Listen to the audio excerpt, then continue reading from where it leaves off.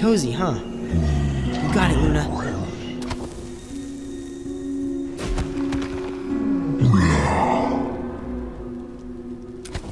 Of course. What kind of campfire would it be without any stars?